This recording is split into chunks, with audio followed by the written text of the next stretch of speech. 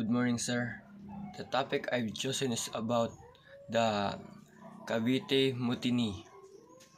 I choose this be- because the road of to the road to independence was rough and tough. Many patriots, named and unnamed, shed their blood to attain independence. The topic is remarkable to me because the harsh reaction of Spanish authorities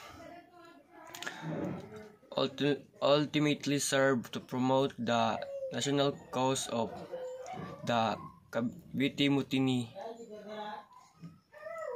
a brief uprising of 200 Filipino troops and workers at the at the Cavite arsenal became the excuse for Spanish repressions of the embryonic of the embryonic Philippine national movement. Ironically, the harsh reaction of the Spanish authorities ultimately served to promote the national cause. The mutiny, mutiny was quickly crushed by the Spanish regime under the reactionary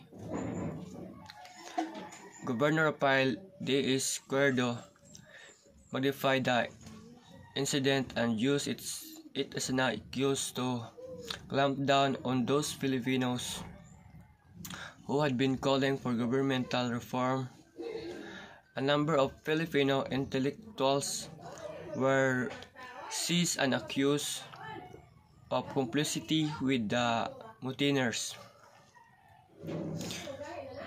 After a brief trial, three priests Jose Burgos, Jacinto Zamora, and Mariano Gomez were pub- publicly, publicly executed. The three subsequently became martyrs to the cause of Filipino independence. That's all my understanding and thank you, sir.